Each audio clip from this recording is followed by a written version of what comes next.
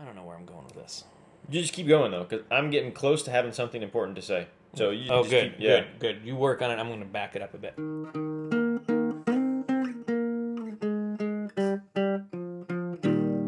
Gotta look up Wiseman. Look it up. Had to look up Veil last time. Now I'm looking up Wiseman. But you did such a good job with the 60 foot wise Yeah. men. The I si- don't remember. I wasn't paying attention. Welcome to the Three Abecedarians. My name is Matt. This is Jordan, and this is my dear friend Brian. Today we're talking about the wise men. You know this story. They uh, were three Eastern, some say kings, some say scholars. Who cares? They were three wise men, and they traveled from afar to see the baby Jesus, who I wasn't really a baby at the time. I don't know. Some people say two year olds are babies. I think if it's, a, it's just a toddler. have, sometimes teenagers are babies. Yeah. I mean, let's be honest. Yeah. Jesus was born to a poor family. He was born in a manger. He was a baby. Uh, he didn't have a very prestigious beginning. The people who were told were the first were these shepherds who were out in the field at night. Now, if you were a third shift shepherd, you were like bottom of the ladder. You were so low on the ladder that I don't even think you knew there was a ladder. I thought you just were like, we live in the mud. They were the first to be told. They were the ones that God chose to announce the good news to first. And that's that is a huge statement right there. The other people who knew, who found out about this, were these three wise men, these three scholars who lived east. So China, I guess. I don't know. India. They don't. They're, They're never. east. They're not creative. In fact, that's one of the. Yeah, I, would- one of the research articles Oh. I'm reading about talks about how non-specific it is. They just Yeah. they came from the east. from the east. So who's to say? The reason that they knew about Jesus was they were observing the heavens and they saw this new star.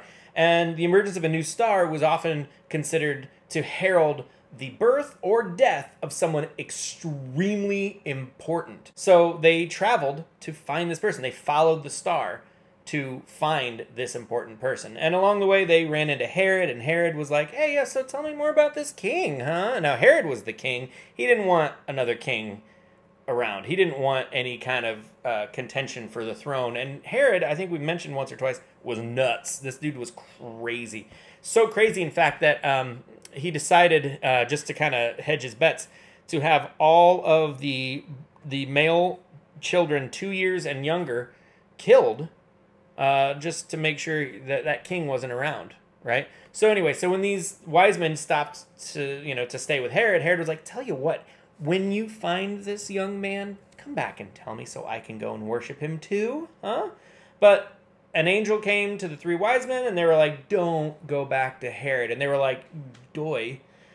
That guy is crazy. He fed us, I think, his son. I'm not sure, but it was real chewy. I don't think that was beef. They did not go back to Herod. They went a different way when they left. After they, you know, they came to Jesus, they gave him his gifts, uh, incense, gold, and myrrh, yeah.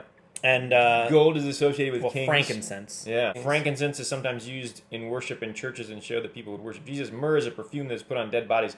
So that's interesting. Hmm. So those three gifts are symbolic of Jesus being the king, but also of his coming death. Yeah, that is interesting. I like that. Um, and I've also heard that that myrrh, Mary saved it and, And used that's it what they.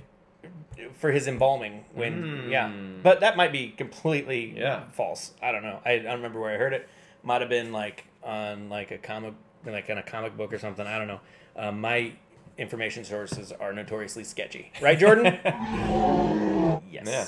So um, Yeah, it's a Bible lands. We can look in here to find the east. Yeah, go ahead. Look for the east. It's in there. Uh, they came and they went. Now, the interesting thing about these guys, uh, they were not Jews. They may have had an understanding of the Torah. They were scholars. They may have known about it. They may have perused And- it. Yeah, and how they would have, and this is another another source online, whatever. But they how they might have known about the Jewish um, prophecies, the Torah, how they would, it, it is because the Jews were in captivity in the east. So there's Mm. so some people think that these magi, the, the magi, were uh, possibly from like what's now like Iraq, Iran, or Saudi Arabia, or Yemen, someone over there. So maybe not as far east as like No. China or something like that, but but who knows? But they might have known about it because Mm. Jews were like their They're servants, slaves, like they had them, yeah. But they might have heard about it through that. That's interesting. Yeah, Yeah, so listen to your servants. They know stuff, man. there's Just Jerusalem, and then the east is like Babylon is to the east too. So could, yeah, all those places that they were dragged as, yeah. So that makes sense then. yeah. I should have studied more No, because Jordan Geography. Jordan studied stuff and he's an idiot, and he's not here to defend himself, right, Jordan? Oh.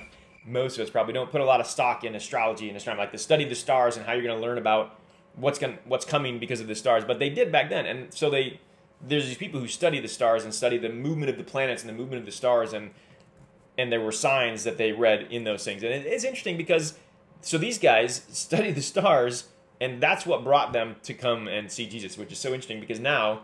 I mean, I don't know how how I grew up is that whole idea of astrology and, and the study of the stars is is kind of I would say like a- scary and yeah. foreign to Christian. Like it's like ooh, It's a form of witchcraft. I'm not advocating to do it because later in the Bible it says don't do those things Mm-hmm. because you're looking for signs. You're looking for all these signs there, and, and that was Jesus coming too, was saying, look, you don't have to, don't find meaning in those things. But it is interesting Yeah. that he used that. So these guys, the sti- what they studied, right? So they were studying astrology. They were looking at these things, and and so God used that thing to draw Mm-hmm. them in to this really important.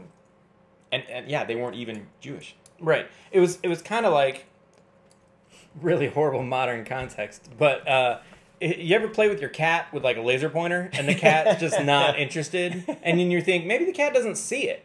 So instead of pointing it on the wall over here and the cat's laying over here staring out the window, you got to put that stupid red dot where the cat's gonna see it, and all of a sudden the cat's like, "I want that dot." That's what Jesus was doing, or well, God. Right. God did with the star, He literally put a laser in the sky where they were looking and they're like, "Oh, That's well, new." that- No, no, no, no, follow. Go, go get it. Go, go, go, go, go, go, get it, get it, get it, get it. That's that's my modern context. Yeah, but I, what I think is interesting about that is he used what they were doing. So like God speaks to us all in the He- ways that we're going to yeah. understand it. So those guys knew that something important was happening. They understood that, yeah, and he used that. He met them where they were. Yeah, That's what he does for us. That's pretty awesome. I love that. I love it. And to sort them um, as they're scholars, my my You're real going Ravenclaw yeah, I'm again? going Ravenclaw. go Ravenclaw. But they were brave because a lot of times the Ravenclaw would be like, "Oh, interesting. There's something going on. Okay, m- put it down in the books, mark it." um, so I think at least and one of send them. one of the Muggles. Muggles? Nah. No, Uh, send a. What are the other guys? Gryffindor. Send a Gryffindor. Yeah, Gryffindors and Hufflepuffs. They'll do anything. they're brave and dumb. Yeah. Um, I think at least one of them must have been a Gryffindor because he probably was like, "Guys, come on, we gotta go. What What's the point in learning this stuff if we're not going to do anything with it, right?" He would have been brave. He would have wanted to dig into it and looked into it and figured out some more stuff. That's my Yeah. take. What's Yeah. interesting too is that there, it, like it says three. They think it, like people think it was three because there were three gifts listed. But in all reality, there could have been a lot more than three people there. Mm. There could have been, yeah, and Yeah. and there probably were. They probably brought their servants and stuff like that, you know, along. But um, for the sake of keeping our nativity scene concise, I'd like to stick to three. That's great. Yeah. Casper, I, I love this description, and I, I don't know how they understand how they would think of this anyway. But this guy apparently had brown hair and a beard, or Huh. no, or no beard, which that's that's great. So it's like he either had a beard or no beard, no beard, Huh? Interesting. and hair or no hair, Hmm. and which so but yeah, and wears a green cloak and I go what? yeah. Oh, this is how the legend was described. Oh. Back, okay, this is the legend. He was apparently the king of Sheba, which the queen of Sheba came for Solomon. Yeah.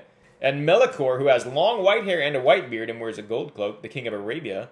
And Balthazar. Balthazar.